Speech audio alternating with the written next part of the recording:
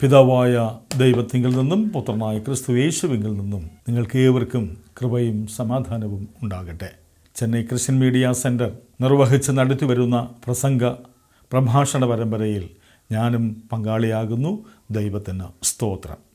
കർത്താവിനാൽ പ്രിയമുള്ളവരെ കർത്താവിന്റെ ഇഹലോക ജീവിതത്തിൽ തന്റെ പരസ്യ ശുശ്രൂഷാ വേളയിൽ കർത്താവ് ഏറെ സതുപദേശങ്ങൾ നൽകി. ദൈവരാജ്യത്തിന്റെ അവകാശത്തിലേക്ക് തന്റെ പ്രിയമക്കളായ നമ്മെ ഏവരെയും ക്ഷണിക്കുന്നുണ്ടല്ലോ. എന്നാൽ വളരെ കർക്കശമായി കർത്താവ് ചില താക്കീത് പോലെ നമുക്ക് ചില നിർദ്ദേശങ്ങൾ നൽകുന്നുണ്ട്.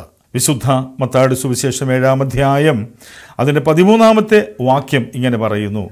ഇടുക്കുവാതിലൂടെ നിങ്ങൾ അകത്ത് കിടപ്പിൻ. ഇടുക്കമുള്ള വാതിലൂടെ നിങ്ങൾ അകത്ത് പ്രവേശിക്കണം എന്നാണ് പറയുന്നത്. ഒപ്പം പറയുന്നു നാശകരമായ വഴിയോ. അത് വിശാലവും വളരെ വീതിയുള്ളതും തന്നെ.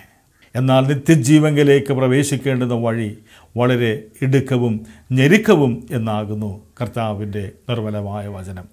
പ്രിയമുള്ളവരെ ഇടുക്കമുള്ള ഇടുക്കുള്ള ഒരു വഴിയിലൂടെ നമുക്ക് സഞ്ചരിക്കാനാകണമെങ്കിൽ നാം നല്ല ഭാഷയിൽ പറഞ്ഞാൽ നമ്മുടെ ശരീരത്തെ നമ്മൾ നിർമ്മലീകരിച്ചുവെങ്കിൽ മാത്രമേ നേർമ്മയുള്ളതാക്കി തീർക്കുന്നുവെങ്കിൽ മാത്രമേ നമുക്കതിലൂടെ നമുക്ക് പ്രവേശിക്കുവാൻ നമുക്ക് കഴിയൂ.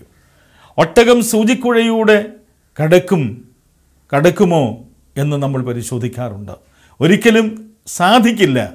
എന്നാൽ ഒരു നൂൽ ഒരു സൂചിക്കുഴയുടെ അകത്തൂടെ സഞ്ചരിക്കണമെങ്കിൽ ആ നൂലിൽ മറ്റ് ഒരു വിധത്തിലുള്ള കെട്ടുകളോ ചരടുകളോ പാടുള്ളതല്ല എന്നറിയാം അത്രമാത്രം നേർമയുള്ളതായി തീരുമെങ്കിൽ മാത്രമേ ആ സൂചിക്കുഴയിലൂടെ ഈ നൂലിന് കടന്നു പോകാനാകൂ. അങ്ങനെയാണെങ്കിൽ ഒട്ടകമോ സ്വയം നേർമയുള്ളതായി തീരുവാൻ അത് നമ്മെ ഉപദേശിക്കുന്നു. എങ്ങനെയാണ് നേർമയുള്ളവരായി തീരുക എന്നുള്ളത്? നമ്മുടെ പാപ സ്വഭാവം പാപത്തിന്റെ ജീർണിച്ച അനുഭവങ്ങളെ നമ്മൾ വെടിയുക വിട്ടുകളയുക എന്നുള്ളതാണ് അത് നമ്മെ ഓർമ്മപ്പെടുത്തുന്നത്. പാപഭാരവും കൊണ്ട് ഒരിക്കലും നമുക്ക് ദൈവരാജ്യത്തിന്റെ അവകാശത്തിൽ നമുക്ക് ചെല്ലുവാൻ നമുക്ക് കഴിയുകയില്ല എന്നുള്ളതാണ് പ്രാഥമികമായി നമ്മൾ മനസ്സിലാക്കേണ്ടത്.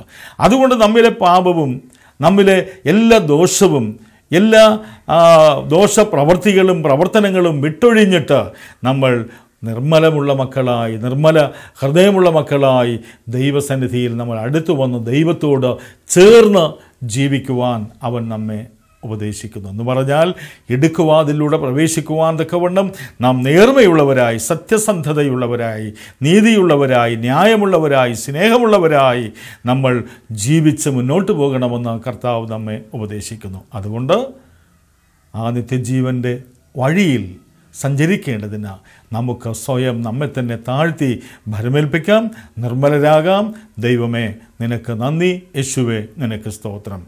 സകല ബുദ്ധിയും കവിന ദൈവസമാധാനം നമ്മുടെ ഹൃദയങ്ങളെയും നിലവുകളെയും ക്രിസ്തു യേശുവെങ്കിൽ കാക്കുമാറാകട്ടെ. ആമേൻ.